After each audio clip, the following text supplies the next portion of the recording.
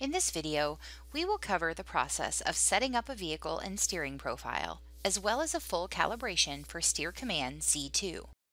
Understanding how to accurately create a vehicle steering profile and navigate through the calibration process will ensure successful auto steering performance.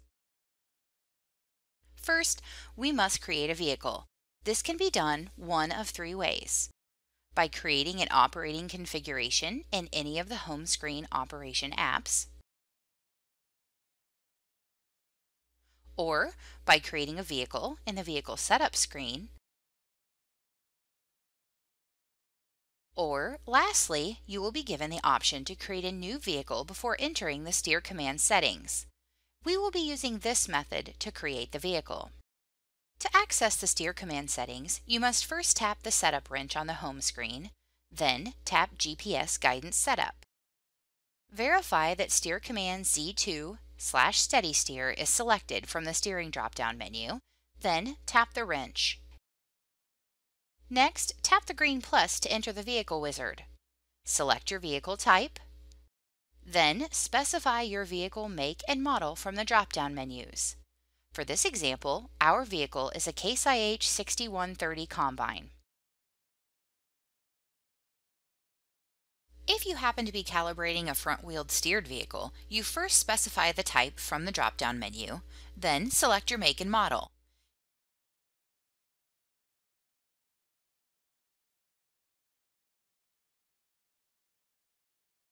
If your vehicle make and model are not listed, you may select a custom vehicle, then manually type in the make and model. Tap the next arrow. For the remainder of the setup steps, be sure to have a measuring tape on hand for measuring all offsets. Now, enter the antenna offsets for the vehicle.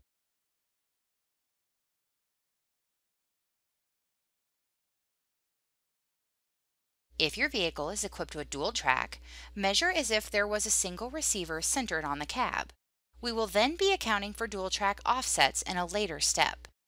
Tap the next arrow.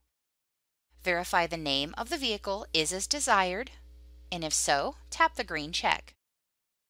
Now, we can see our newly created vehicle as the active vehicle and profile. We are now ready to start the vehicle calibration. First, make sure you are in a large open area for the calibration. Second, you will need to be outside with a valid GPS signal in order to proceed. Tap Full Calibration to begin. Select the Auto Steer control method for your vehicle. The control methods will vary depending on the vehicle make and model that was created. For this example, our vehicle is a steer-ready Case IH 6130 Combine and it is an AccuGuide ready vehicle. Tap the green check. We are now presented again with the antenna offsets. These will be the same as what we previously entered. If dual track is present, tap the checkbox. This will automatically enter a 27-inch offset to the left for the master receiver. SteerCommand assumes the entire dual track assembly is centered on the cab. If it is not, account for the additional left or right offsets at this time. Tap the next arrow. Enter the wheelbase measurement.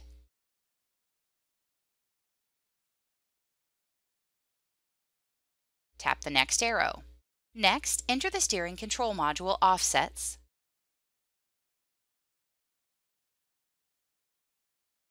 Measure to the center of the steering control module for all offsets and tap the next arrow. As you proceed through the entire calibration, you will be presented with icons and animations to inform the operator of what to expect during the specific calibration step. When this icon appears, that means the system will be steering the vehicle. When this icon appears, the operator will need to manually steer the vehicle. Tap the next arrow. The first calibration is for the steering kickout. This will determine what manual override sensor is being used. In the first step, center the steering system, then tap Step Complete. Next, rotate the steering wheel one half turn to the left. Tap Step Complete. Rotate the steering wheel one half turn to the right and tap Step Complete. The sensor type should now be detected and displayed. Verify it is correct per your specific installation and tap the next arrow. We must now set the manual steering threshold to point at which auto steer disengages. First, turn the steering wheel with the same aggressiveness you would typically use to disengage auto steer. A blue bar will increase in the threshold box, and a high point will be recorded. Next, drag the slider somewhere just below the high point. This threshold reading will now be the point when auto steer is disengaged by manually turning the steering wheel. Plus and minus buttons may be used to make small incremental adjustments. You can test this threshold by turning the steering wheel again. If the kickout reading surpasses the set point, you will hear an audible alarm. This alarm indicates steering will be disengaged. If you must turn the steering wheel very hard to get the audible alarm, consider lowering the set point. This step may be repeated as needed to meet the operator's preference. The sensitivity slider will be present for all pressure style sensors. It may be adjusted if an operator ever experiences erratic kickout values or false kickouts while auto steering. Tap the green check. The next step will be the wheel angle sensor calibration. Begin by driving the vehicle in a straight line. Be sure to keep the vehicle in the specified speed range. Tap the next arrow. The vehicle will begin to calibrate for the center point of the angle sensor.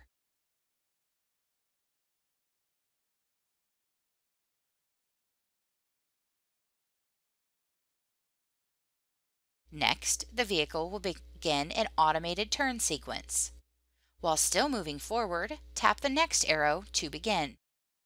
The vehicle will make a full right turn, then a full left turn. It is now calibrating the outside points of the angle sensor. If the automated turn sequence is unintentionally disengaged, repeatedly by the kickout sensor, that means the kickout set point is likely too sensitive. To adjust, pause the calibration, then tap Adjust Kickout.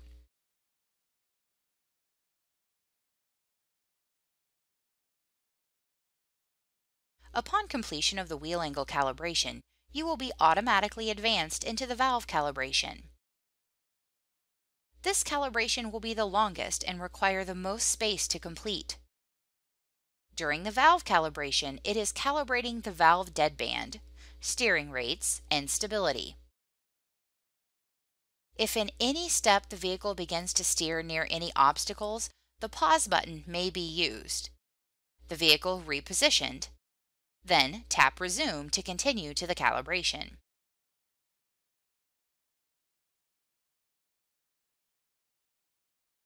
This step of the calibration may also be completed in forward or reverse.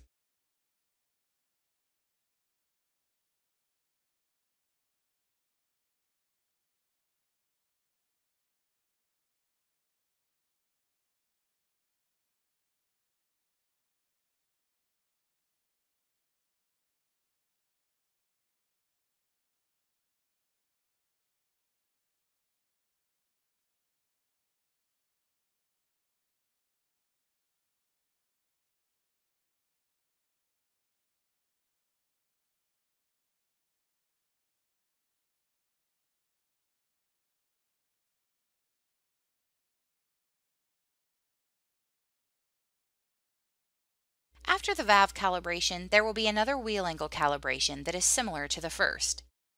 It will make another left and right turn. It is calibrating additional left and right angle sensor points.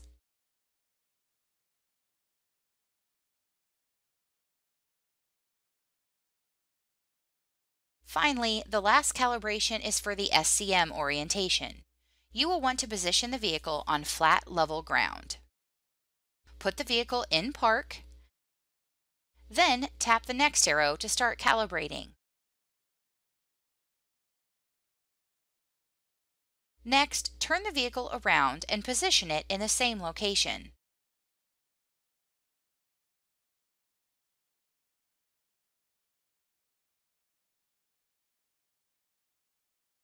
Put the vehicle in park, Then tap the next arrow to start calibrating.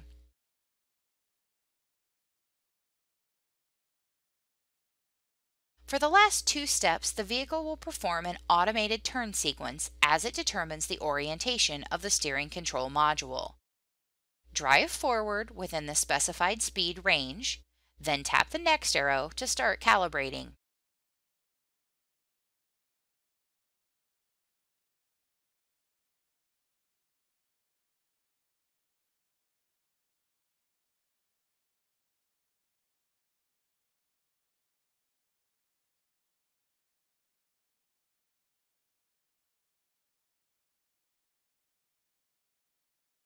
The calibration has now been completed successfully. Tap the green check to accept.